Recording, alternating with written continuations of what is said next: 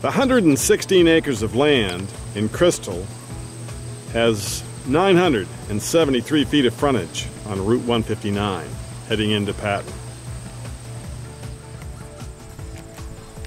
3,000 feet of frontage on Fish Stream, included with this 116 acres of northern Maine land. This is looking down the road,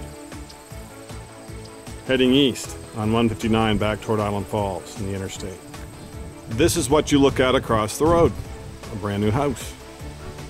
And Fish Stream crosses the other side of that apple tree.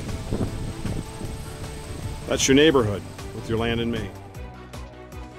I'm Maine Realtor Andy Mooers. Thanks for listening and watching the Maine Real Estate Channel for Maine Land.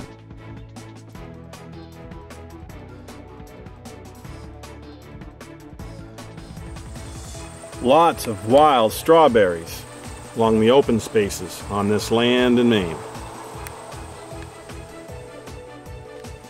Further up the road is across from where the Ward clapboard cedar shingle mill was. It's now closed.